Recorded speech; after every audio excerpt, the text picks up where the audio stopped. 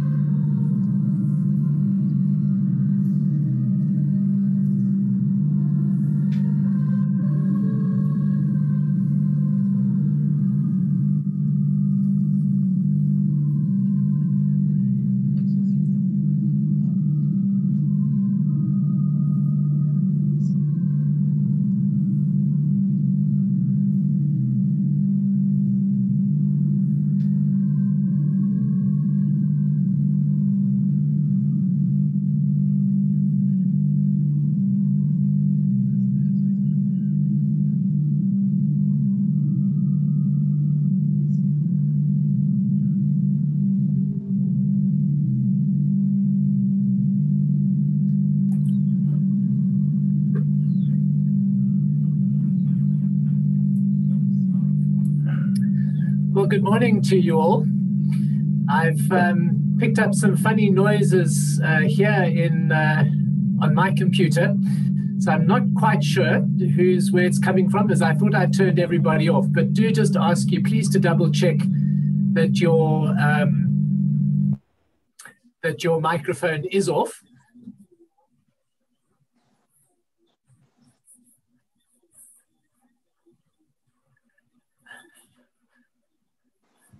I'm now getting a feedback. I will just sort one thing out here where I think the problem might be.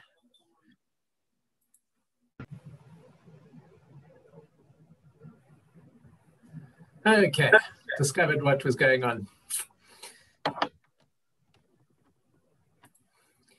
Good. Well, very good morning to you all. Um, we're trying. I'm trying a new thing, which is to um, uh, live stream to YouTube this morning. And in fact, what was happening was my uh, computer was playing back the the uh, YouTube stream at the same time. So that was where I was getting funny noises from. Anyway, welcome to you all. Welcome to St. Andrews. Welcome to our time of worship together this morning. It really is wonderful to be able to together and um, despite our, our distance from one another to just experience something of the blessing of uh, God's love and the activity of the Spirit uh, holding us together in these times. A reminder, please, if you um, haven't yet, just to find the chat tab at the bottom of the page, uh, bottom of your screen, and just indicate um, how many of you are participating with us from your, from your home this morning. And then also to ask that, um, as I said, please keep the microphones off. Uh, we welcome uh, Freya as our lay minister this morning and Mags as our responder. And Mags, just to ask that you turn your microphone on, please. Um, so when you hear Mags's voice, uh, that should correlate with the words in bold and invite you to, to uh, respond from behind your microphone at that point. Um, at the end of the service, I'm going to offer an opportunity for us to break, to go into what's called breakaway groups. Um, so it just puts three or four of us into a little room where we can just say hello to each other because it's wonderful to greet everyone, but one might also just want to have a conversation that's not with, with 50 other people. So you don't have to participate in that, and I'll warn you when that's going to happen. But if you would like to, uh, that's will be an opportunity literally for five minutes um, but like having a cup of tea or a chat as you walk down the path to the uh, to the car park. So that's the that's the plan there. But again, we will we will confirm that uh, at at the end before I before I shove you in where you don't want to go. Um, we welcome Bishop Geoff as our preacher this morning, uh, and we welcome my parents Tim and Christine Long from uh, all the way from Asted in the UK. They are our, our scripture readers this morning. So lovely to have you all with us. And we now come to just embrace this time of worship together. Uh, we have a moment of silence as we begin.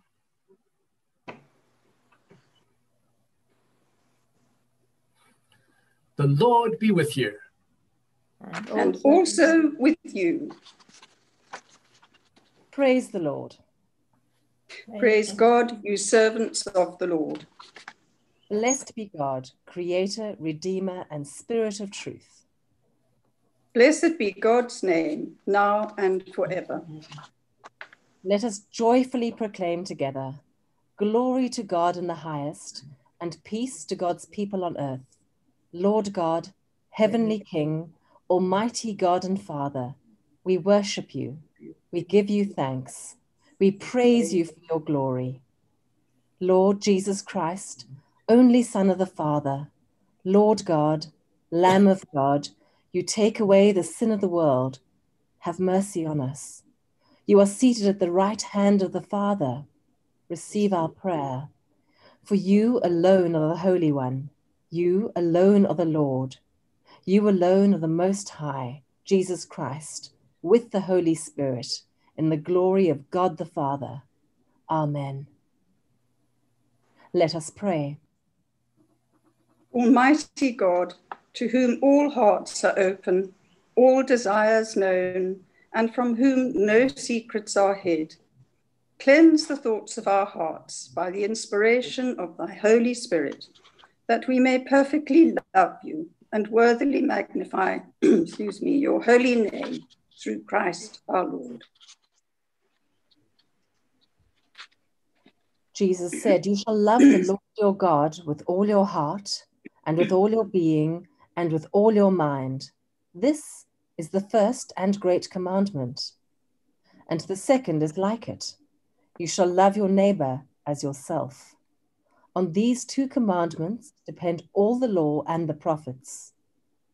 In a moment of silence, let us call to mind and then confess our sins firmly resolved to keep God's commandments and to live in love and peace with our neighbor.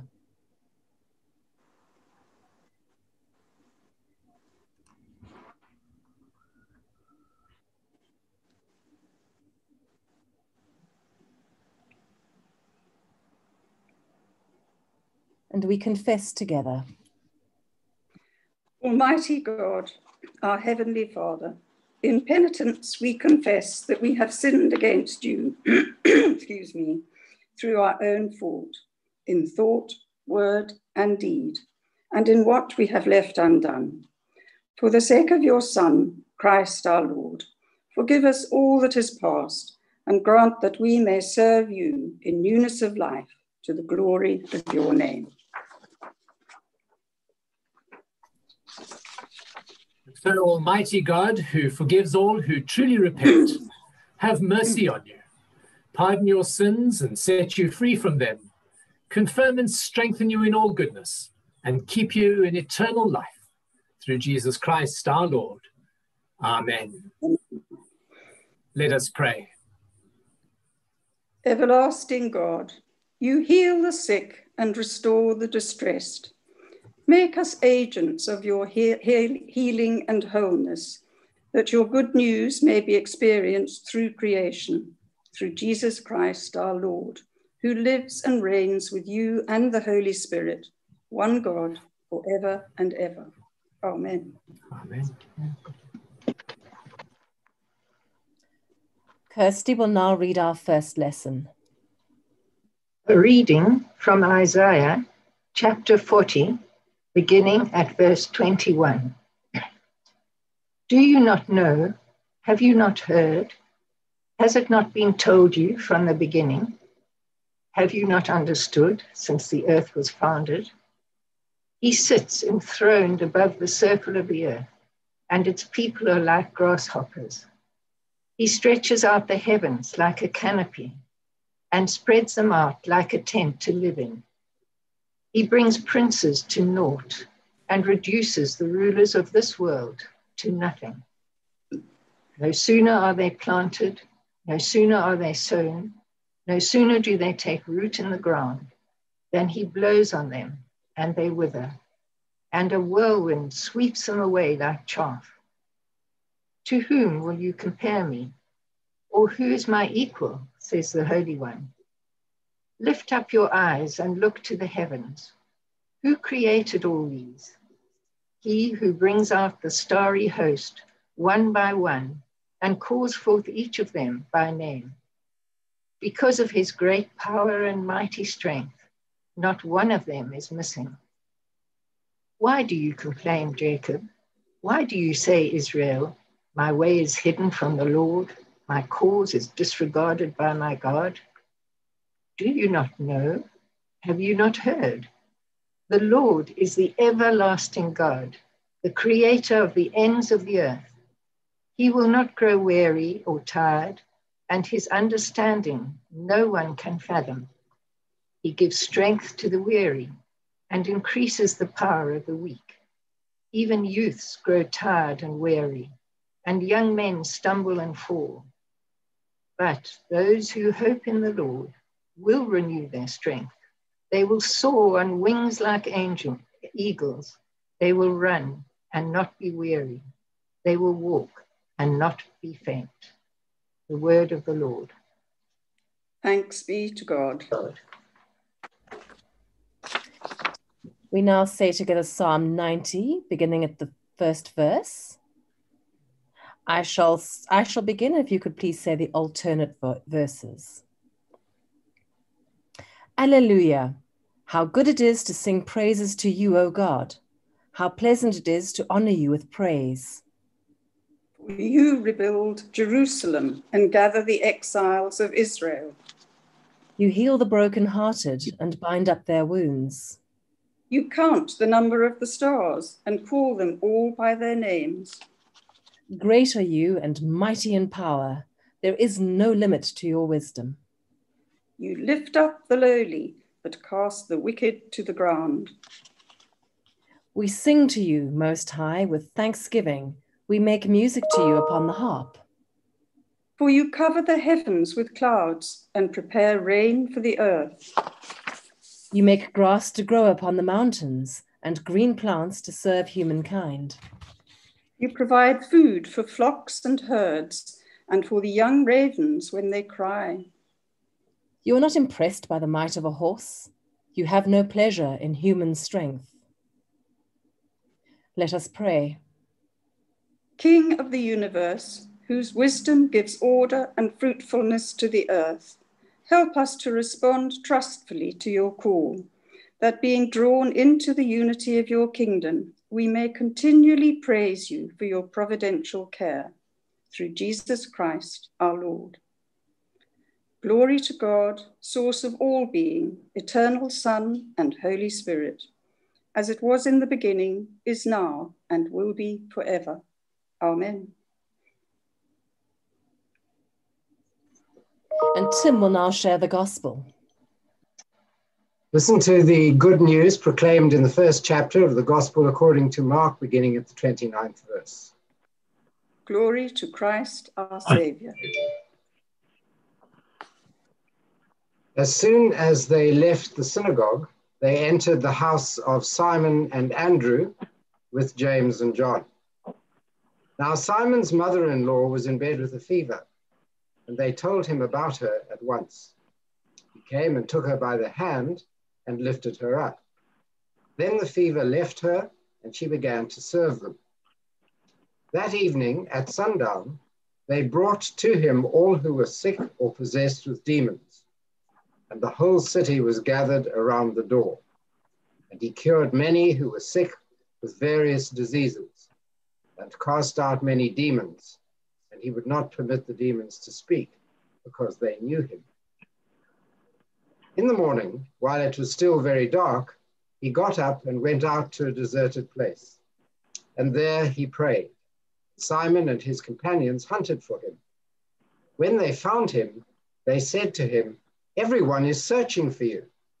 He answered, Let us go on to the neighboring towns so that I may proclaim the message there also, for that is what I came to do. And he went throughout Galilee, proclaiming the message in their synagogues and casting out demons. This is the gospel of Christ.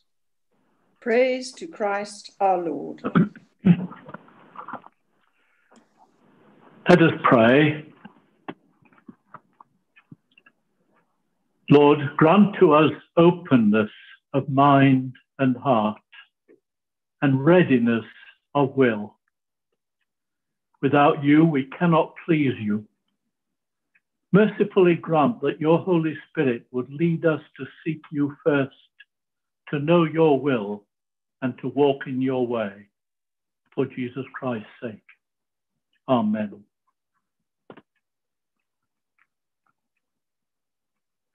Where is God in all that's happening to us at the moment. Life as we knew it a year ago has disappeared. So many things have changed. We almost get tired of hearing it, I'm sure, but we know that we have limited freedom of movement. We know that millions of jobs have been lost. Livelihoods are threatened. Education has been restricted. Family and friends cannot meet and are often cut off, and socializing is affected. And as the pandemic goes on, many of us are beginning to know people who are sick from COVID, and indeed know people who who have died prematurely from it.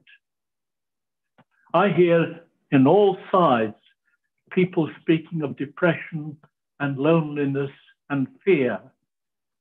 And that fear is not helped too much by the television that tends to feed us with the same news all the time. Perhaps we should restrict a little bit the way we listen to it. And all of this is happening at a time when world leadership seems to be very, very much in decline.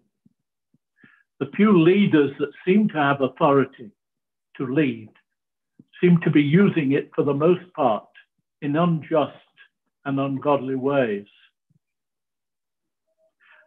When we look at the church, it's also true that there too we have been radically affected. Attendance is, is limited, and clergy and finances are affected. I could see a time when buildings may become redundant, or some. And I could also see the possibility of some clergy unable to be supported financially any longer for the ministry they exercise. It's a gloomy picture. So, where is God in all of this? When I read Isaiah chapter 40, I sense that people were asking the same kind of questions. And they were often responding by saying that God was absent or that God didn't know their situation, or if he did, he didn't care. The circumstances in which the Jews were when Isaiah was writing to them was that they had been in exile in Babylon, far from their own home, for anything close to 70 years. Jerusalem, their capital, had been destroyed. The temple no longer existed, that center of their faith. And the promise of an ongoing Davidic kingship had also apparently come to an end. So faith and hope were in at a low ebb, whilst at the same time they saw all the signs of a prosperous paganism and idolatry exercised around them in Babylon. We know from experience that when things are hard, and especially when we are suffering, there is a tendency to focus on ourselves and to go into ourselves. And so, so Isaiah, when he's wanting to help his people, is seeking to move them away from precisely that tendency. He wants to lift their eyes back to God, to renew their faith, to show them the source from which he comes. And so he speaks of God as the mighty one, the creator. He says of Babylon that seems so great, and indeed all the nations of the world. He speaks of them and says they're a mere drop in the bucket compared with the enormity that we believe in in God. He tells the people to go out and to look up at the night sky. And because they didn't suffer from light pollution the way we do, they would have seen many, many stars. And then the, Isaiah was saying, and remember, God knows them all by number, and he has given them all a name. And then he goes on to repeat in a way their own questioning and give it a response. I read again from verse 27. Why do you say, My way is hidden from the Lord, and my right is disregarded by my God? Have you not heard? Have you not known? The Lord is the everlasting God, the creator of the ends of the earth. He does not grow faint and weary, and his understanding is unsearchable. And then Isaiah goes on to show them another way to move away from this self centeredness, not just to put their eyes on God, but also to wait on God, a way of keeping their eyes on Him those famous words that come at the end of this marvelous chapter They that wait upon the Lord shall renew their strength. They shall mount up with wings like eagles. They shall run and not be weary. They shall walk and not faint. But to wait upon the Lord means what it says. He's the Lord and we are the waiters. And it's His will that we're about, not ours. That's a great movement, really, in Isaiah, in the scriptures, and in the gospel. The movement from self towards God. And if you look at the very opening words of the next chapter in Isaiah, the Lord says, Listen to me in silence. When we move to our reading from Mark's Gospel, we find some of the same kind of emphasis being brought home to us. Jesus has been effectively and powerfully teaching in the synagogue at Capernaum. And people were impressed with the authority with which he spoke. But then he also cast out a demon from one of the persons in the congregation. Afterwards, he, together with James and John and Andrew, moved to Simon's house for lunch. And there, when he enters the house, they tell him straight away that the mother in law of Simon is sick in bed with fever. And Jesus goes, and Mark is always using the word immediately or words to that effect. And it says he straight away healed her so much so that she actually got up and provided the meal for them. It was Sabbath. But when the Sabbath ended, at the time when the sun went down, which in Jewish law was when the Sabbath came to an end, then we're told that lots of people from the village came to the door of Simon's house and were asking Jesus for ministry in healing, or deliverance. And Jesus does all of that. We're not even told what time he got to bed, but my guess is it might have been quite late. This is where Mark makes the point that is coming through in Isaiah. He says that Jesus, early in the morning, while it was still dark, went to a lonely place to pray. He's seeking God. He's waiting on his Father. He's t- searching to put the priorities of ministry in place. And because he's about God's business and not his own, it's significant what happens next. Simon comes along and says, Come, come, Lord, all the people are waiting for you. They want more ministry. And Jesus says, No, now we must move on to the neighboring towns because that's why I have come. In other words, he's not about pleasing people, he's about pleasing God. And the perspective from which he works is what is God asking me to do? I hear a lot of people, and one of the debates is can we not get back to normal? And so it's worth asking what normal is, because in my opinion, it's as destructive as what we're finding at the moment. What we were settled with was a consumerism and a greed which was effectively destroying life and life on the planet. Our scientists have been telling us for years about pollution and global warming. But the God of mercy, the God of money, dominates in the um, corporates and it dominates in the populace.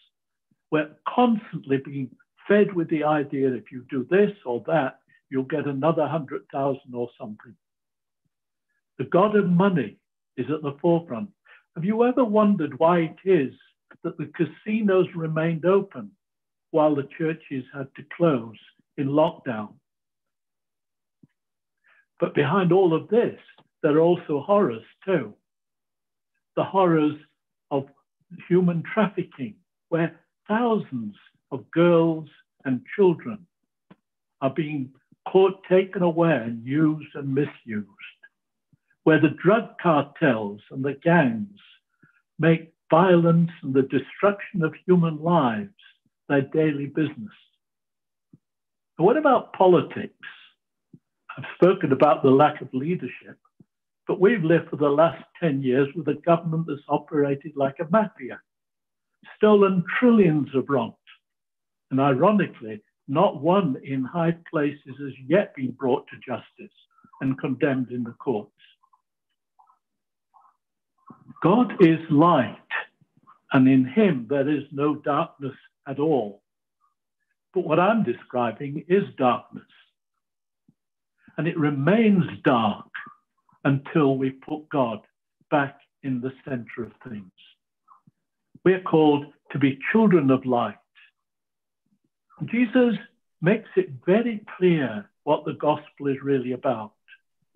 He says, if you want to save your life, if you want to just do what you want, live with yourself at the center, you lose life. But if you lose your life for my sake and the gospel, if you give yourself away, if you change your center of concern, then you will find life. I said I didn't want the world to go back to normal. What about the church? I don't think I want that to go back to normal either. So often we're preaching a man, or if you like, a woman centered gospel about our needs, about how this person or other can be blessed. Of course, God blesses and meets our needs. But God is not about our business. He's calling us into a centering on Him and on His kingdom. I don't want to go back to a church in which the clergy are so busy working for God that they have little time to spend with God. And there's so little of real deep prayer in those who are called to minister. And I know there's some good exceptions. But it is significant that the activities of what we call church life have a lot, very little to do with the gospel in many instances. Why is it that we teach prayer so little when we're doing so many other things that we say are about God?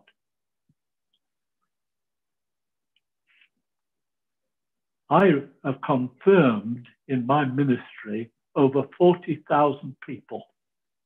I don't want to go back to that church either, where numbers of those being brought in and confirmed who do not know the essence of the gospel and certainly have no commitment to it does not become our way of life. Numbers are not everything, buildings are not everything. We have to find a way of ministering in which we build people up. And I believe that the small group is of the essence of the church. And if we're not participating at that level, in one sense, we don't discover the gospel. So, where is God in all this? I believe it very evidently at work, calling us into a life that centers on Him. Seek first the kingdom of God, and all these other things will be yours as well. They that wait upon the Lord shall renew their strength. Listen to me in silence. And I believe that when God's people do that, they begin to know his will, learn and learn the things he wants us to do. And yet there's one other key aspect that also has to be said. When we know what God wants us to do, we can't do it. We are utterly dependent on the presence of God in us. And of course, we still have to act and we still have to speak and we still have to work and we still have to meet and it's our personality that's at work that God is working through. But we have to surrender to the Christ within us so that the mm. Christ is seen in all that we do and say and think. So God is at work. And I believe that as we turn to Him with that kind of awareness, God will change His church and renew it, beginning with us. So let us pray.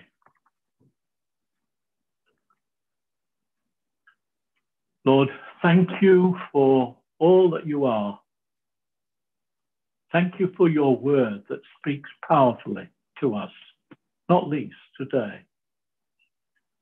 Teach us to pray. Teach us to listen.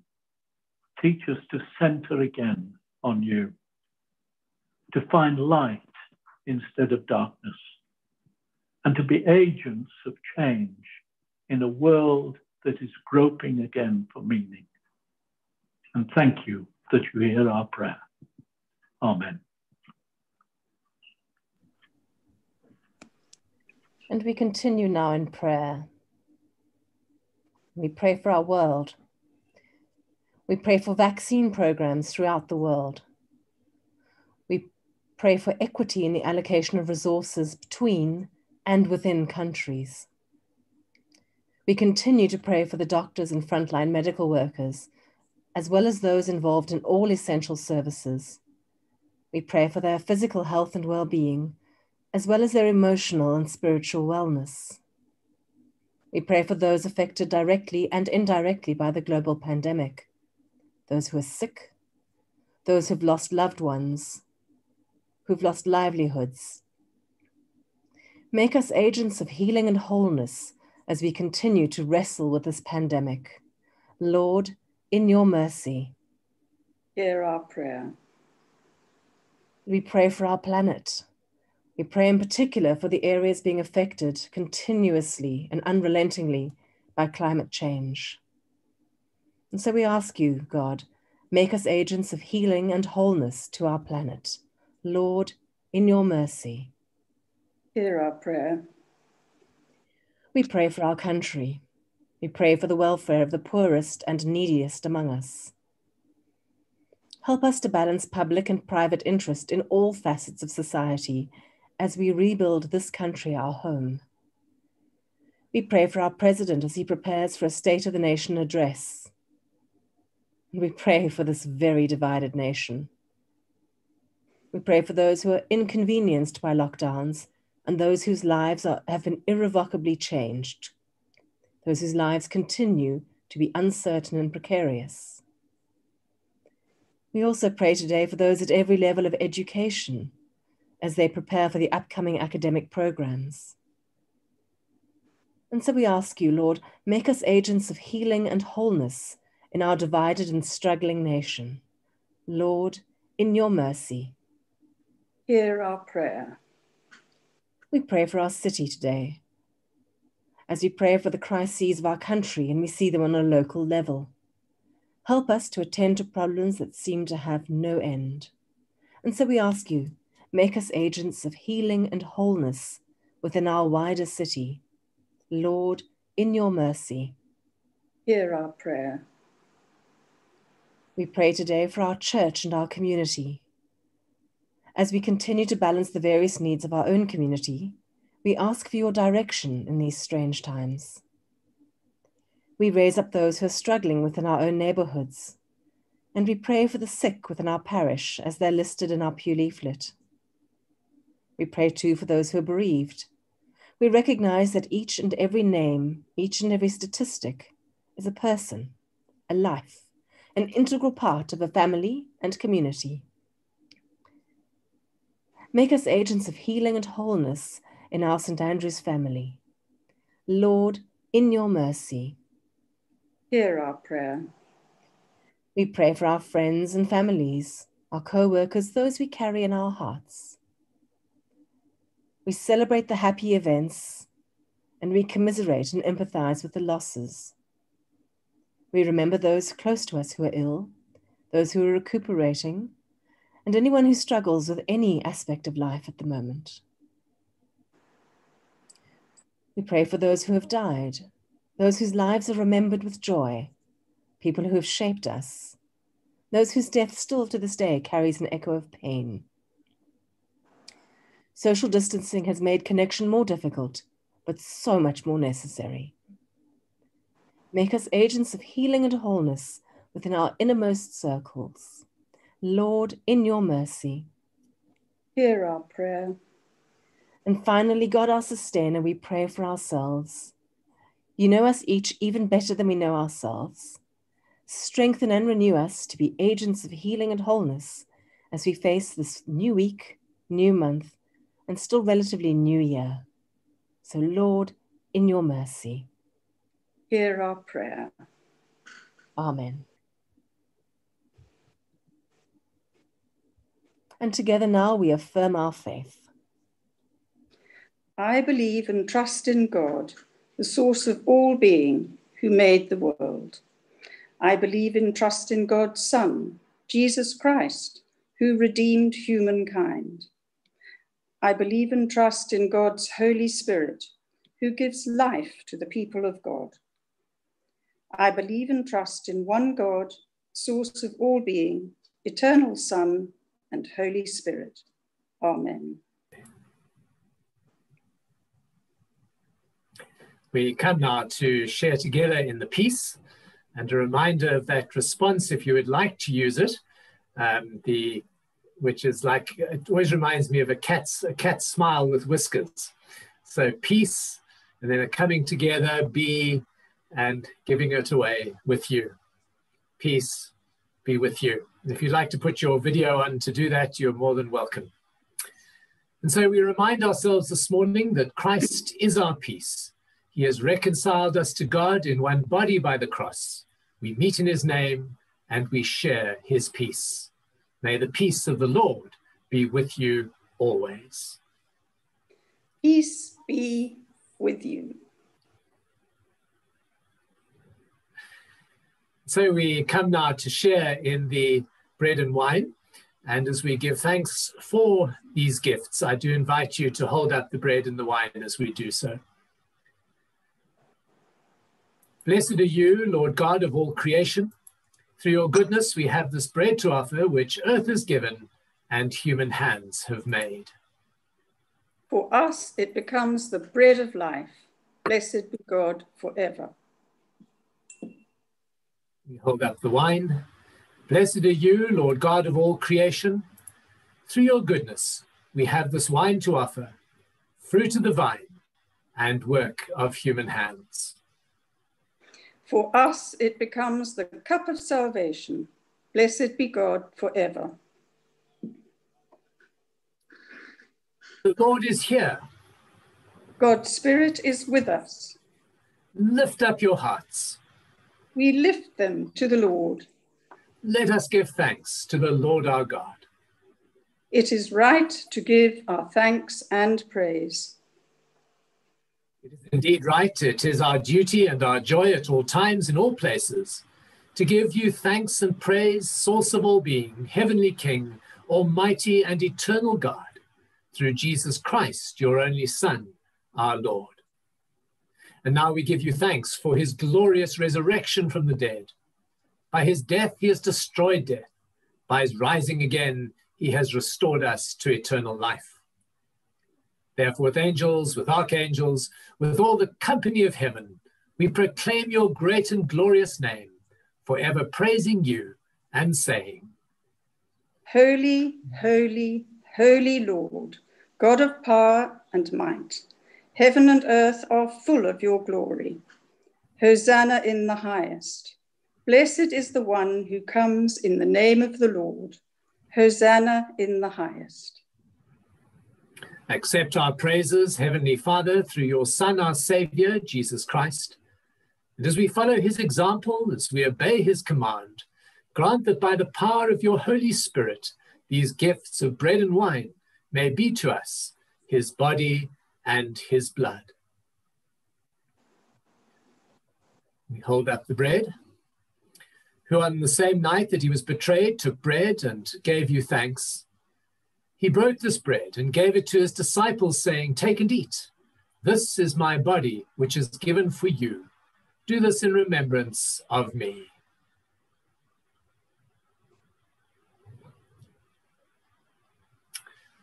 We hold up the wine. In the same way, after supper, Jesus took the cup and gave you thanks. He gave the cup to them, saying, Drink this, all of you. For this is my blood of the new covenant, which is shed for you and for many for the forgiveness of sins.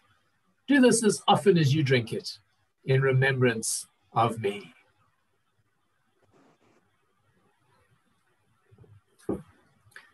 And so together we proclaim the mystery of our faith. Christ has died. Christ is risen. Christ will come again. Therefore, Heavenly Father, we remember his offering of himself made once and for all upon the cross. We proclaim his mighty resurrection, his glorious ascension, and we look for his coming in glory, celebrating with this bread and this cup his one perfect sacrifice. Accept through him, our great high priest, this our sacrifice of thanks and praise. And as we eat and drink these holy gifts in the presence of your divine majesty, renew us by your spirit, inspire us with your love, and unite us in the body of your Son, Jesus Christ, our Lord. For through him and with him and in him, by the power of the Holy Spirit, with all who stand before you in earth and heaven, we worship you, source of all being, in songs of everlasting praise. Blessing and honor and glory and power be yours forever and ever. Amen. So, as Christ has taught us, we are bold to pray. Our Father in heaven, hallowed be your name. Your kingdom come, your will be done on earth as in heaven. Give us today our daily bread. Forgive us our sins as we forgive those who sin against us. Save us from the time of trial and deliver us from evil. For the kingdom, the power, and the glory are yours, now and forever. Amen. Amen. And so the bread which we break, is it not a sharing of the body of Christ? We who are many are one body, for we all partake of the one bread. The risen Christ is present with us in the sacrament as we share it together. Let us spend a moment in silence to worship and adore him.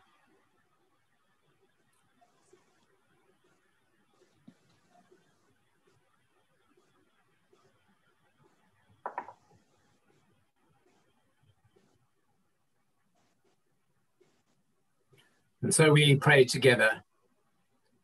We come to this table not because we must, but because we may, not because we are strong, but because we need strength. We come because we love the Lord a little and would like to love him more. We come because he loves us and gave himself for all. For the gifts of God for the people of God. Thanks be to God. And so, as we partake of the bread, either on our own or with those gathered with us, we say, The body of Christ broken for you. Amen.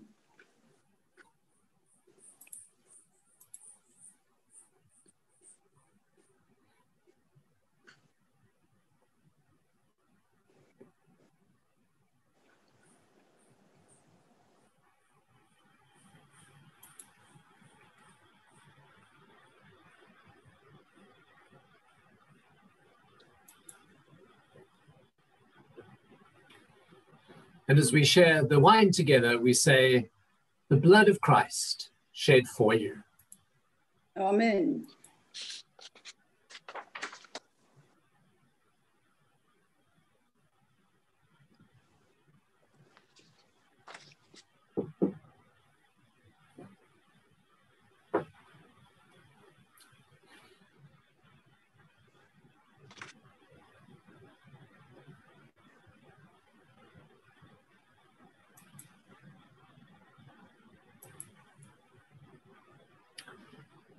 And then just a prayer of blessing for those who may be with us who have not received communion this morning. Lord, we thank you for your presence in our lives. And we ask for each one who may not have received but desires your blessing that your hand would rest upon them, that their lives may reflect your love, and that there may be your presence and your goodness in the lives of others. Amen. And so we've received from God in word and in sacrament this morning. Let us give thanks, for the Lord is gracious. God's mercy endures forever.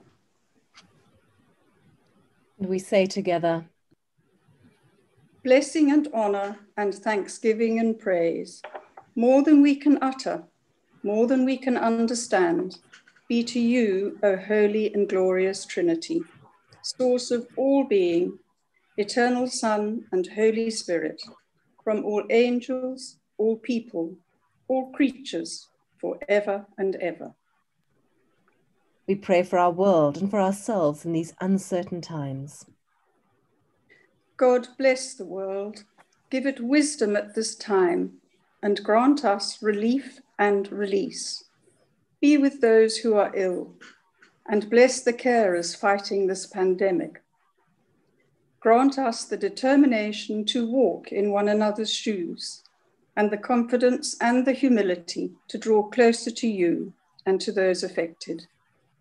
Strengthen us to pass to those who are ill, to weep for the dead, to support healers, and to care for and love one another. For Jesus Christ's sake. Amen. And we offer ourselves in service.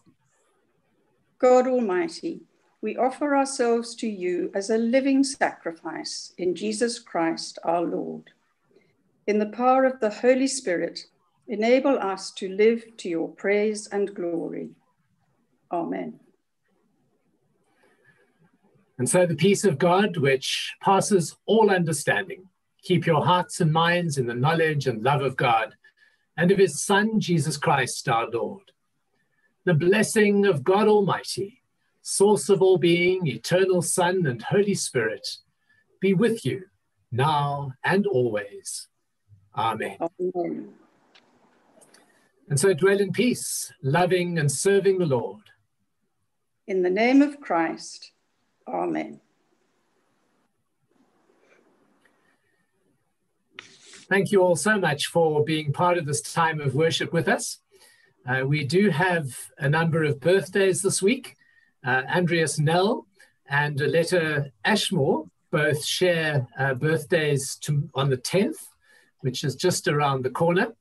Uh, Aletta is with us. I think her video is off at the moment, but Aletta, very happy birthday uh, from all of us.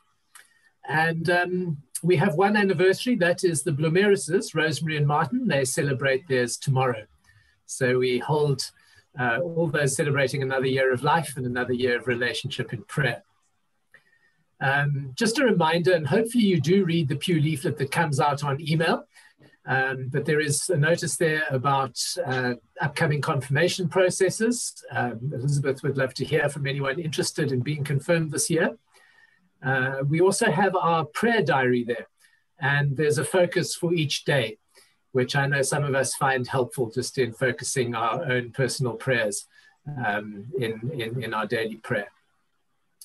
We, um, we, I, I, will also be sending out during the week, uh, we'll be sending out information around um, our Ash Wednesday services, which take place uh, next, next Wednesday, the 17th um, as well as our upcoming Lent course. So that will all come out during the course of this week. So please look out for that in your email boxes. Um, and if I could ask too for your special prayers for St. Thomas Rondebosch. Uh, they are preparing to receive their new rector, who is um, the, the Reverend Dr. Claire Hunter. Uh, they, she and the family arrive tomorrow and will be settling in and she will be ins instituted next Saturday afternoon in, in a limited attendance service. Um, so I'm hugely pleased as Archdeacon that I'm able to hand over responsibilities there this coming week. Um, but I think Claire is going to be a wonderful addition to our Archdeaconry and certainly to the life of St. Thomas. So please pray for her and Andrew and the family in this time and transition for them. Um, what I would like to do quickly is just I see that that um, uh, where are we going? Aletta's video is on. There's Aletta. Happy birthday, Aletta. Have a wonderful, wonderful day ahead. Uh, wonderful week ahead. Super. Then I'm going to ask for those who'd like to just participate in these breakaway groups. I've just set them up literally for five minutes. There are about three or four of you, I think, in each group. Just a chance to actually say hi without being overwhelmed by, by 50 different machines saying hi to each other. Um, it'll automatically end in five minutes and kick you back into this forum. Uh, you have choice at any point either not to go into the group or to exit the group or to come back into the big, the bigger group. Um, but I thought I'd just like to try it because I think we've really been missing that more intimate fellowship we have during tea afterwards. So if you could put your your um, videos and microphones on, um, and just if you don't know the people you put into the group with, just share your name and perhaps where in Cape Town or in the world you live um, and maybe something just briefly about your connection to St Andrews. Uh, but nothing, no, no need to share the depth of your life, but just an opportunity to, to relate. So I'm going to quickly re-sign everything. And one, two, three, there we go.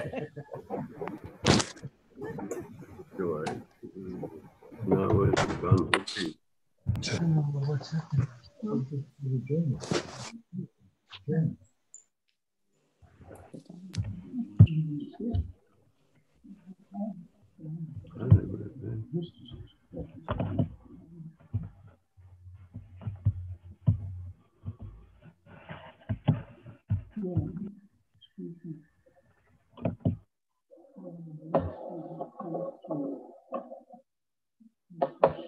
Mm. The